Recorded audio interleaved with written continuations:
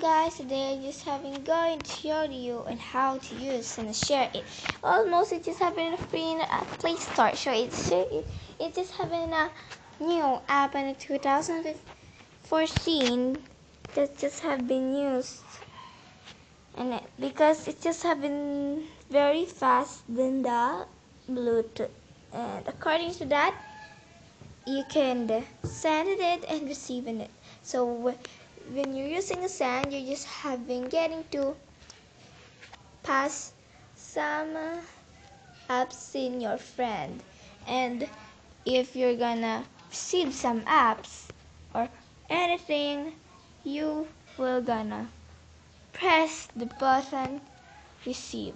So you may just have been tap the app in it to have been apply it. So it just having a quiet log in it so just having a sand in it so you may just having tap in it just like of that and that one and that and that and that and you may just have been send that anything that you can have been pass anything music photos files apps and anything. So this is the picture of it when you just haven't finding some friends in your in into passing it. So in the good of it it just having so very stronger and faster so but the bad of it when you're having passing some apps on it you may just have been nearby on your friends that have been passing it.